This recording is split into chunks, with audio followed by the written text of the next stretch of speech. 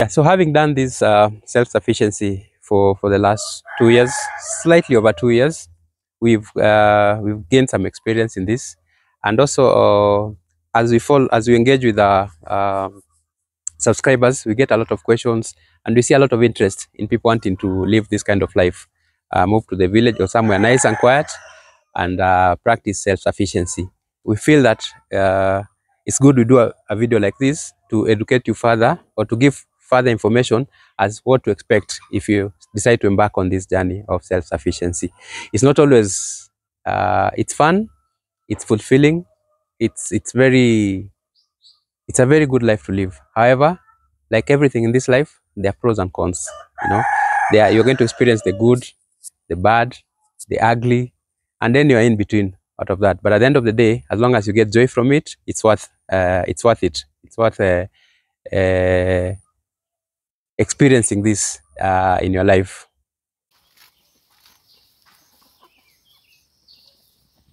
Yeah, so I believe that one of the biggest benefits of that we've come to enjoy for the last two years um, is being able to grow food from seed, seeing it grow, taking care of it to the time that we harvest it.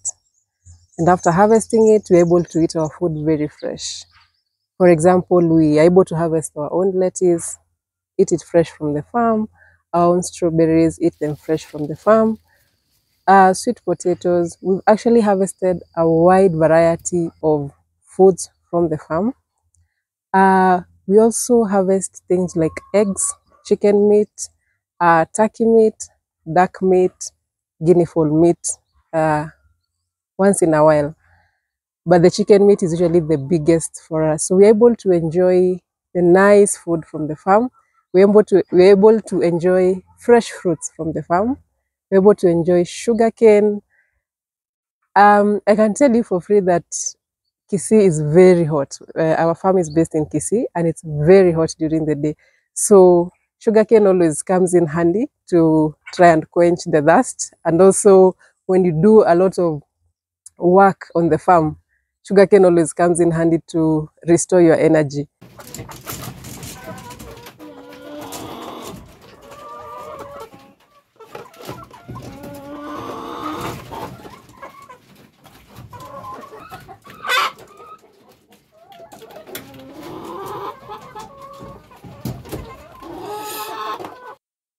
Yeah, so planting planting has a way of giving you some level of joy that uh, is very difficult to explain to someone unless someone actually tries to do the thing themselves.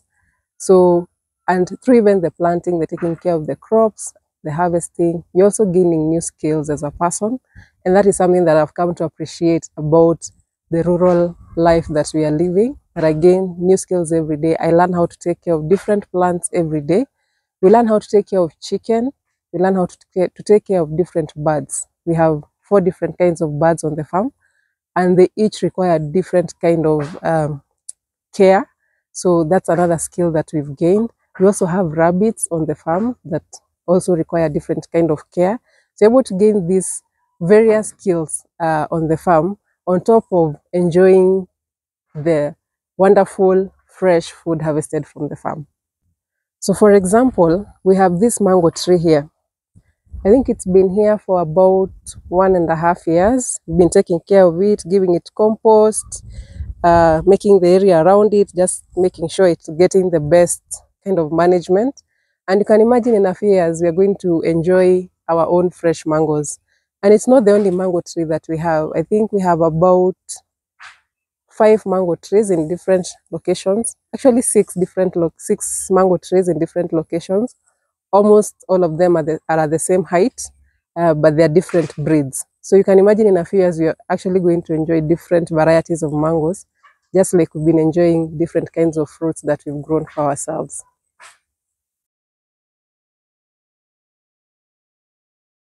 Yeah, for me, the biggest benefit that I enjoy uh, about self-sufficiency uh, is the space that we have, the peace and serenity that we, we get to enjoy over here. Uh, and it's it's it's uh, it's hard to put it in perspective unless you are here with us. But I'll just try to explain that uh, where we are, our house has a compound, very nice lawn, trees, flowers, uh, where you can actually uh, stay in the house for a little bit, come outside, sit, enjoy the sun, or sit under the shade and read a book, or just get to the lawn and play a bit of football with the kids. It's it's very it's something that I enjoy very much. And we also have um, like this place here where we are now, where we just it's it's usually where our chicken go uh, go foraging around, uh, and you can see how green it is. Uh, the other day we were discussing it's it, we, we never knew we were going to do this, but it looks like an orchard if I'm pro pronouncing that right, because here we have several fruits, as you can see. Uh, they have the popo. I'm not sure which one is this, but it's a citrus one, and then you can see the sugarcane, the loquats, the mangoes. So it's almost like an orchard. So it's, it's a very nice space that you can come and sit down and enjoy and have a chat and just relax your mind. Uh, the other thing about uh, the peace and serenity is that it's, we, this area is very hilly uh, with a lot of rivers and streams. So sometimes we, we take walks up the hills in roads that we don't find anyone on the, on the roads. And then sometimes we go to the river. Uh, we actually have access to the river. Uh, we have a land that touches the, the river over here where we, we planted some trees. So it's very, we get to enjoy a lot of stuff. Uh, the, the, the greenery, you know, the, the birds chirping in the morning uh, and in the evening. And they're very different. They're different. I'm, I'm talking about the wild birds now. We have so many different types of birds, birds here that even a bird watcher would enjoy sitting down with us here and just watching the birds. So it's very peaceful. It's very serene. It's something very nice uh, for someone uh, who really wants to enjoy this kind of life. You get to really enjoy uh, properly.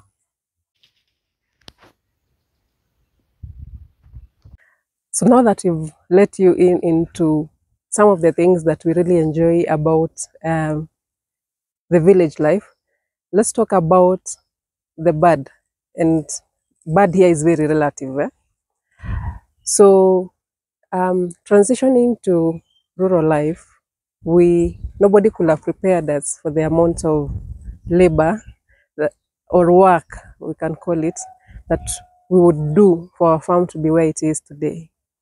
So there's a lot of there's a lot involved. There's tilling the land, there's weeding, taking care of crops, there's watering sometimes, there's harvesting, there's taking care of birds, there's taking care of um, rabbits. It's a lot of work and it's very manual work. There's carrying of compost, preparing compost pits. Yeah? There's um, taking care of everything that you can see around us. It's a lot, a lot of work. So if you're planning to move to the countryside, it's one of those things that you need to be prepared for. So the other thing is um, when you're moving to the countryside, you have these big expectations. You've seen uh, photos, nice photos all over, nice harvest, we're harvesting nice things and things like that. But now, uh, when you land on the ground, you plant your things and you don't harvest anything because of issues to do with soil, um, issues to do with animal diseases, issues to do with weather conditions. So it's it's a, it's a it's a learning process. For me, uh, I would advise anyone moving to the countryside to manage the expectations in terms of what they are going to get in the first year, especially because you've not learnt your soil, you've not learnt your animals, you've not learnt the weather in that area. So it takes quite a bit of time to understand all these things. So it's good to take your time and um, uh, manage your expectations uh, very well so that you're not disappointed by what you get. But eventually, as we say, it's a journey. Eventually, you you you learn the soil. Eventually, you learn how to take care of your animals. Eventually, you learn how the weather behaves. You keep mastering it. You learn how to compost, and now things start working out very well. You start getting those nice produce that you were seeing uh, before you move to the countryside.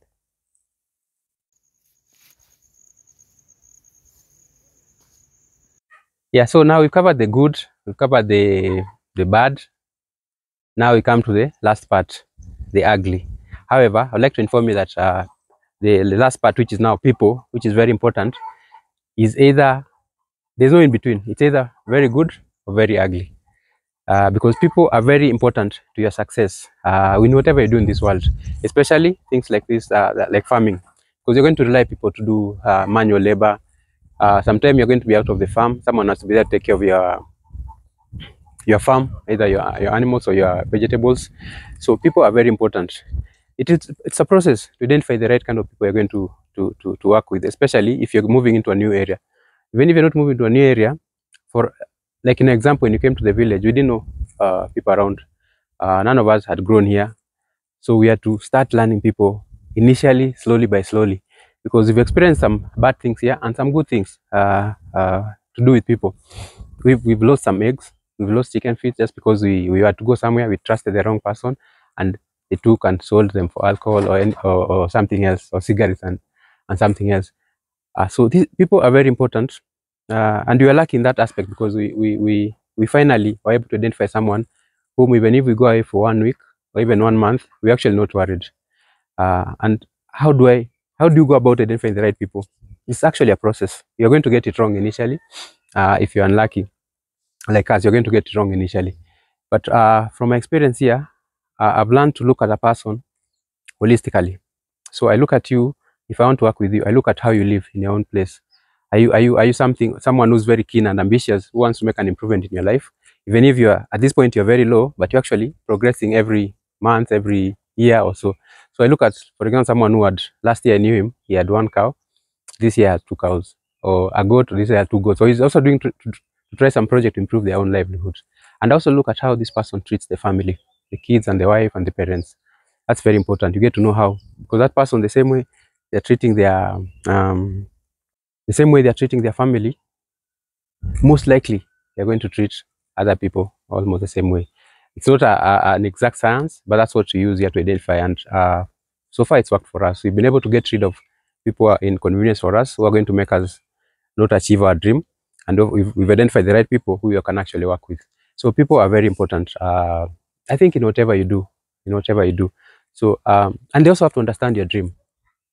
You can get someone on your farm who is used to using fertilizers, giving antibiotics to chicken. Just you know, the first instance they think of is fertilizer, antibiotics, and all that. You need to tell them your dream. If if you are going to do things organically, you need to explain to them that here, this is my dream, this is what I want to achieve. And so you you you, you ensure that they buy into your dream, and so they're going to help you to achieve that dream. So uh, people are very important to you, and there's no in between. It's either very ugly or very good, you know. So uh, again, let me wish you let me wish you the best if you're going to start this journey because uh, people are going to be very important, and I hope you get to identify the right people who are going to carry your dream forward with you. Guys, another point to to remember, maybe to encourage you, is that when you grow things organically, as if you're going to do self-sufficiency and uh, go organic, um, sometimes when you grow things uh, like vegetables or well, even chicken, when you grow vegetables, they're not going to be as perfect as what you see in the supermarket, you know. So uh, what you see in the supermarket, there's been a lot of uh, chemicals and insecticide and a lot of stuff used on to that to make them look that perfect. But when you grow things organically uh, using compost as we do, the carrots will come in funny shapes, but that doesn't reduce their nutritious content or their sweetness and all that. Even chicken, the, chi the kind of chicken that we keep here is indigenous, 100% indigenous chicken.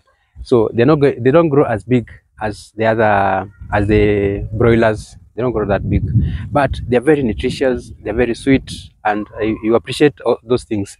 So um, I just the point I want to make that when you grow, uh, when you do this self go to this self-sufficiency way, and you grow your things. Uh, you either keep the indigenous birds or you grow your vegetables organically. Do not be discouraged by either the shape of the carrot or the size and all that. Enjoy the the, the sweetness and the nutritional value in it. It's actually very rewarding. The other thing about growing your own food is that you become very conscious with food because you grow fr fresh vegetables uh, organically, you keep your own chicken.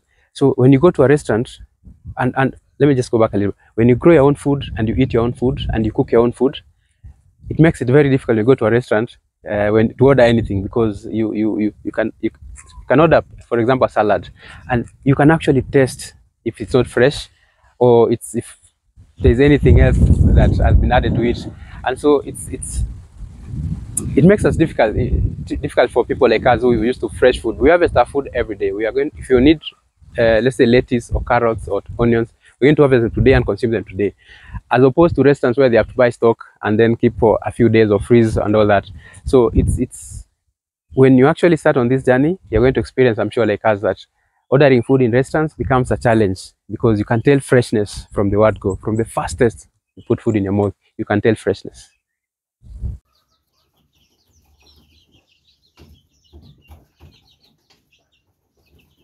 Yeah, so we've discussed the good, the bad, and the ugly of moving to the rural country based on our own experience.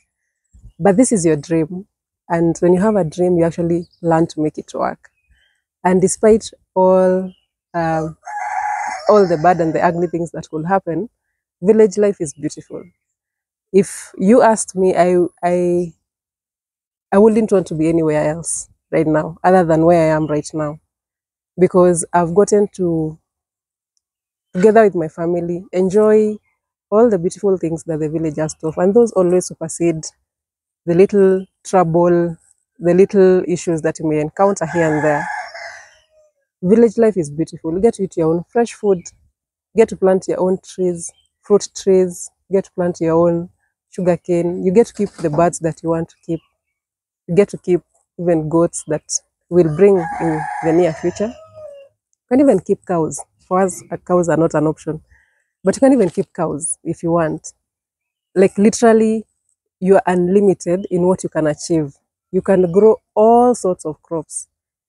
For us, we've tried so many things, things that people in this area have never grown.